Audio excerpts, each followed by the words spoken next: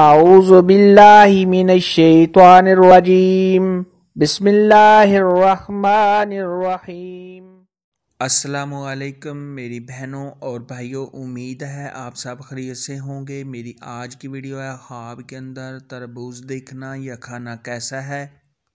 इस ख्वाब की कई सारी किस्में हैं, मगर हम आपको इसकी चंद ताबीरें बताएँगे। वीडियो शुरू करने से पहले मेरी आपसे छोटी सी गुजारिश है कि मेरे चैनल सच्ची ताबीर को सब्सक्राइब कर लें, ताकि आने वाली हर नई वीडियो आप तक आसानी से पहुँच सके और आप अपने ख्वाब की ताबीर जान सकें।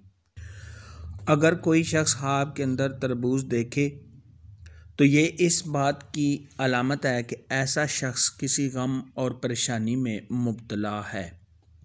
अगर कोई शख्स ख्वाब के अंदर देखे कि उसने तरबूज खाया है तो ये आराम और राहत पाने, गम और परेशानी से निजात पाने और मकसद में कामयाब होने की अलामत है।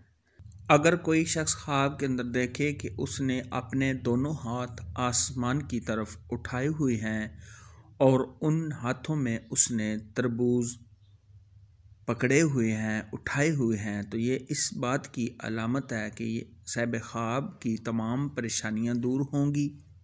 सहब ख्वाब जिस काम के लिए इरादा रखता है, उसमें वो कामयाब होगा।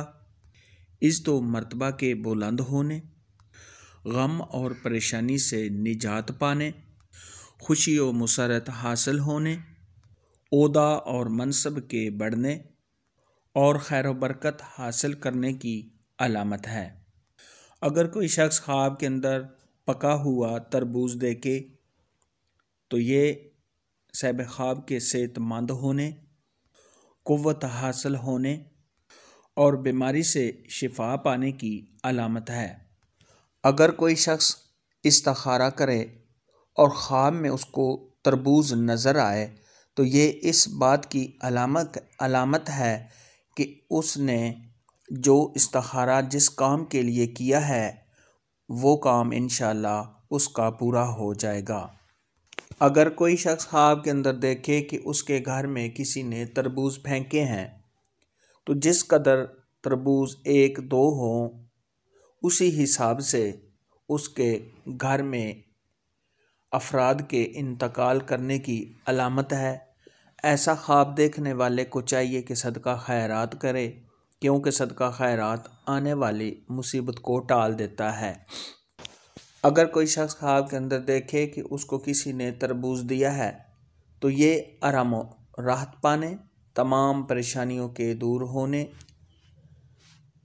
दौलत हासिल होने और किसी मकसद में कामयाब होने की अलामत है। अगर ख्वाब के अंदर कोई देखे कि उसको किसी ने जर्द रंग का तरबूज दिया है तो ये इस बात की अलामत है कि सहब ख्वाब की जल्द ही मंगनी या उसकी शादी होगी। ख्वाब के अंदर अगर कोई तरबूज काटता है तो ये बुज़ुर्गी हासिल होने, रिज़्क में बेपना इजाफ़ा होने और रंजो गम के दूर होने की अलामत है। ख्वाब के अंदर अगर कोई शख्स तरबूज गंदा देखे या खाए तो ये रंजो गम पाने, किसी मुसीबत या आफत के आने, परेशान होने, इस दो मरतबा में कमी होने, बीमार होने, कर्जदार होने और किसी मकसद में नाकाम होने की अलामत है। ऐसा ख्वाब देखने वाले को चाहिए कि सदका खैरात करे, क्योंकि सदका खैरात आने वाली मुसीबत को टाल देता है। तरबूज के मुतलक आज की वीडियो में इतना ही था। अगर आपका कोई और ख्वाब है जिसकी आप ताबीर पूछना चाहते हैं तो नीचे कमेंट में मुझे ज़रूर बताना। मेरी वीडियो को लाइक और शेयर लाजमी करना। अल्लाह